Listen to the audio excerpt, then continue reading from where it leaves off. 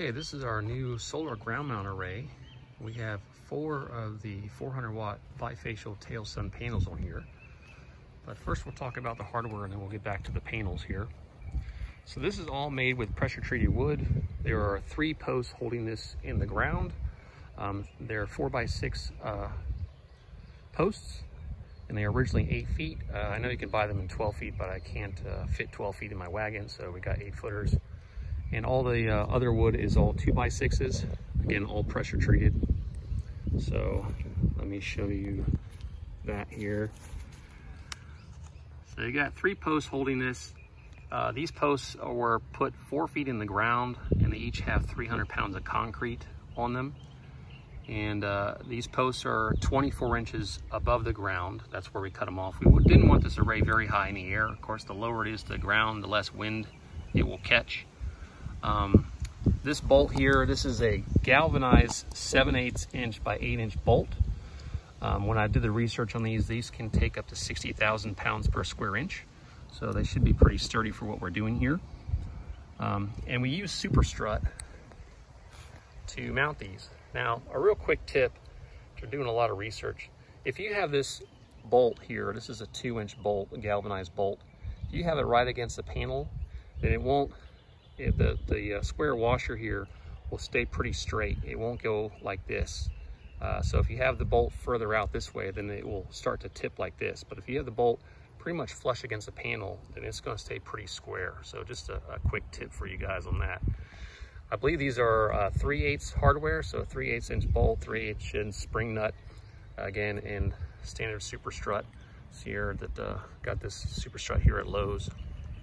So Again, it's very nice. This is so easy to tilt, guys. It just tilts so up easy and down.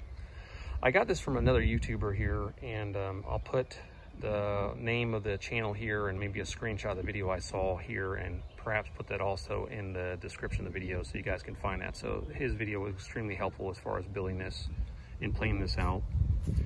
Now temporarily, um, we have these, uh, we have four of these Vortex screws here holding it in case there's any sudden wind or anything. Again, it's, this array is not very high off the ground, so I don't expect a lot of issues with wind, of course, but just in case. Each one of these Vortex screws is a 16-inch Vortex screw. Each one's capable of 425 pounds. And so I have four of these here, so you're talking about 1,700 pounds of securing force as of right now. And these are just temporary. These are just something I put here temporary until I can come up with something a little bit better.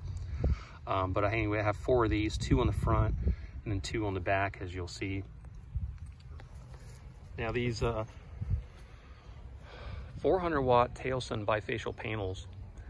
So you got 1600 watts of panels here, but because they're bifacial, you actually get some bifacial gain. So I have seen, when we first got this, the panels, we had to buy 10 of these, um, which is a really good price from Signature Solar. So we got 10 of these.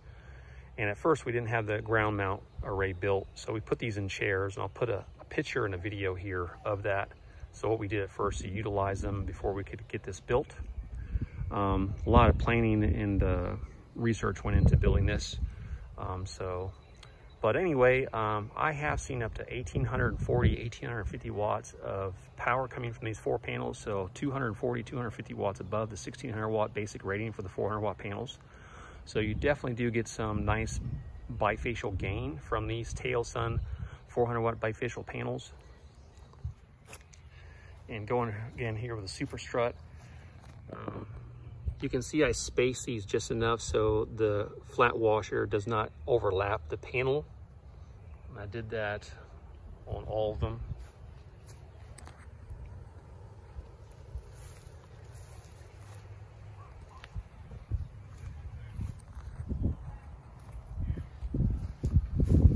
The other vortex screw there. And here's the two on the back holding it.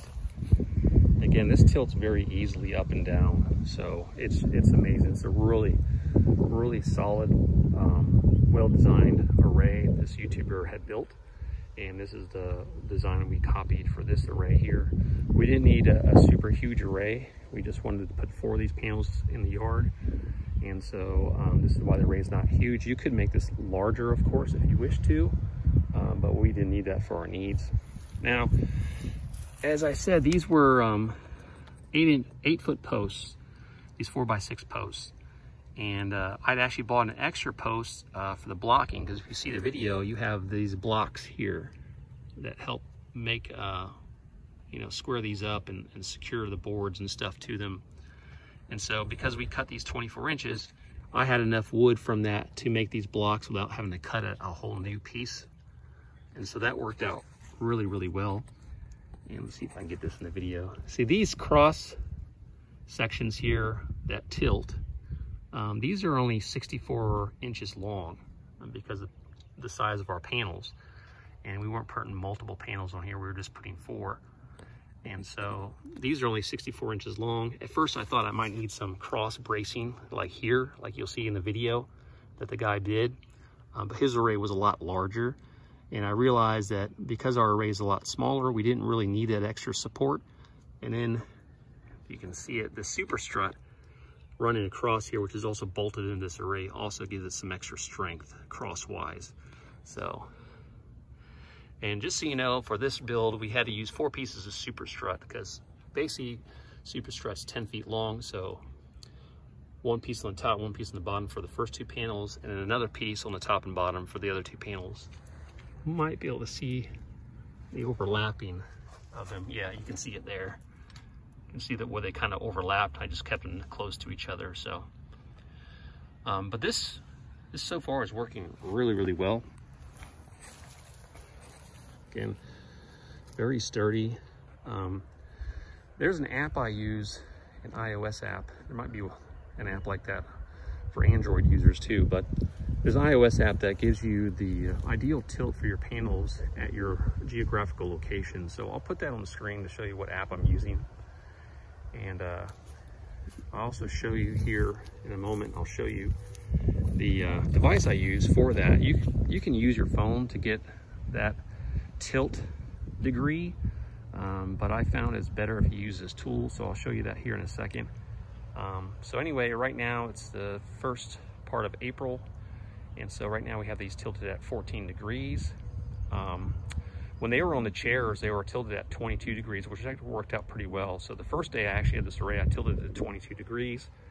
And then when I checked the solar app as far as the ideal tilt for my location, I realized it was 14 degrees.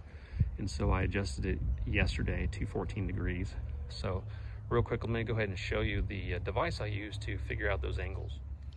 All right, so this is the angle finder I use. This is a Klein Tools angle finder, and uh, hopefully you can see the model number there, the 935DAA.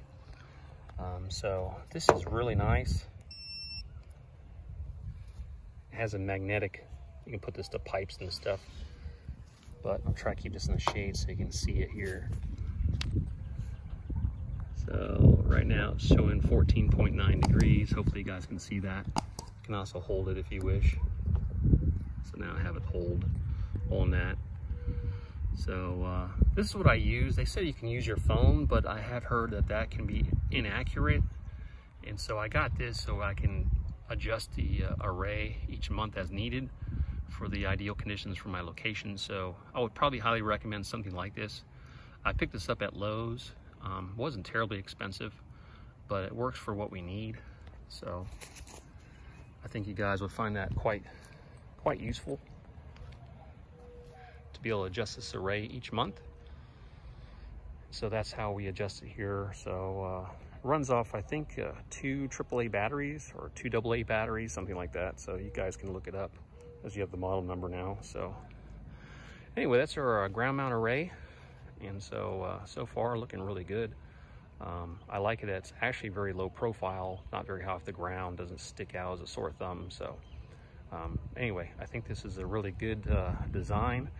So hats off to that YouTuber that made this video, that made, made the video that I put in the screen earlier. And again, I'll have that link to that video in the description for you guys. So really solid design. All right, thanks for watching.